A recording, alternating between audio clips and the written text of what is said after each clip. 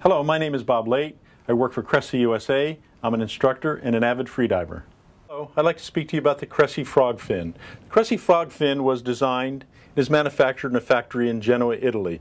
It's a great general purpose fin that works very well for the entry level diver as well as the advanced diver. It's made of a material that is extremely durable and will hold up for years of heavy use. Also works quite well in rental operations.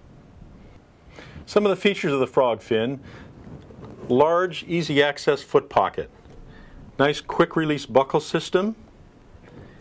The blade is positioned on top of the foot pocket. This is the very first fin in the diving industry that positioned the blade on top of the foot pocket. This increases the blade area of the fin and also increases the performance of the fin. The frog fin is available in professional black color.